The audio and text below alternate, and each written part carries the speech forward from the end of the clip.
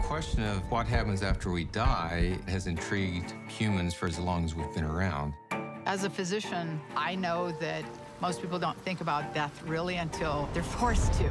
Alrighty folks, so I just finished watching Netflix's new documentary series Surviving Death, the first episode titled Near Death Experiences.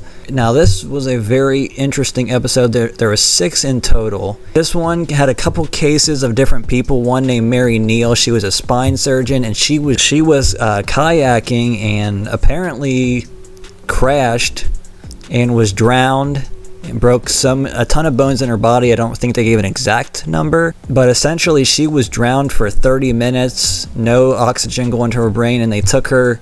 They ended up getting her to a hospital, and she did end up surviving, which was pretty miraculous in and of itself.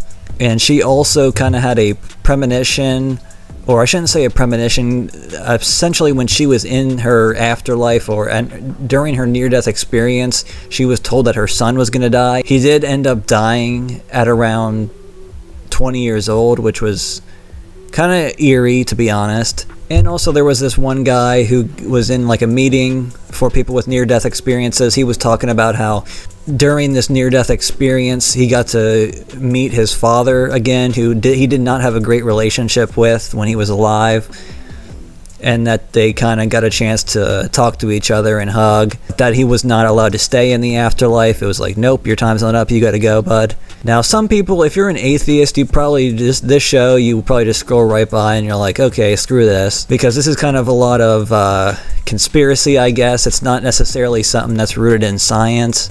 And there was also this couple, the wife, when she was going to have a child, when she was pregnant, she had this weird, I guess again to say a premonition that she was going to die during childbirth, but her child was going to live. And essentially, it did happen. She did die during the childbirth. The child was born. And she kind of ex describes exactly what was going on in the room during her when they were trying to resuscitate her. And there was also a woman beforehand, I forget her name, but she described how, being above her own body and watching herself and essentially watching her corpse and she was describing everything that happened in the room uh, the, the tools that were used on her you know, all the surgeons the anesthesiologist all that.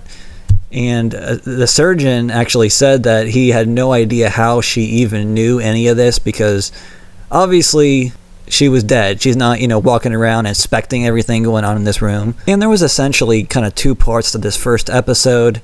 There was kind of the scientist's description and them trying to kind of find ways to explain these near death experiences. And then there was the stories of all these people that actually went through the near death experiences. And back in school, I wasn't really into the science of it. I mean, it was interesting, definitely, to hear their perspective on it, but I would say I did enjoy their stories from the people the most. And it was very interesting how they all described it kind of the same. That it's like a warm embrace and like it's very light and just kind of weird phenomenon, I guess you would say.